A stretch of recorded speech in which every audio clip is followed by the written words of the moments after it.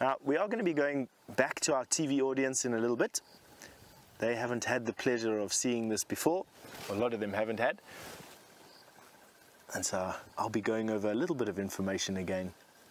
Some of you may have heard it, some not.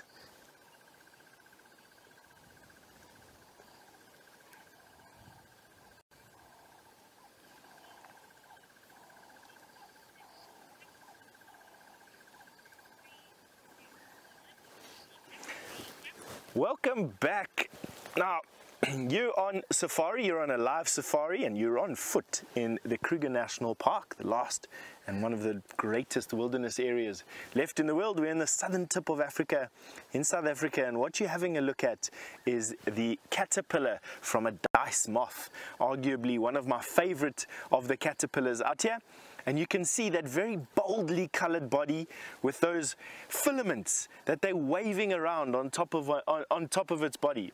Now for many years and I've been guiding here for the last 18 years for many years it was very tough to understand exactly what those filaments were for mainly because there's not that much information on it until a friend of mine the other day studying wasps gave me the answer let's go back and I'll explain exactly what those filaments are for. Now some wasp species lay their eggs on caterpillars. The, caterp the, the, the, the wasp's larvae then hatch and feed on the living caterpillar eventually pupating to come out as a wasp.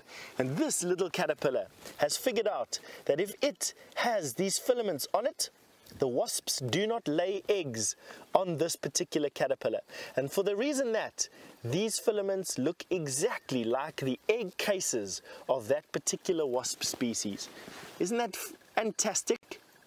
So it's mimicking the egg cases of the wasp that preys on them, making the wasp believe that this caterpillar is already infected or infested I should say with its with another wasp's eggs and so there won't be enough food for its babies and leaves this caterpillar alone.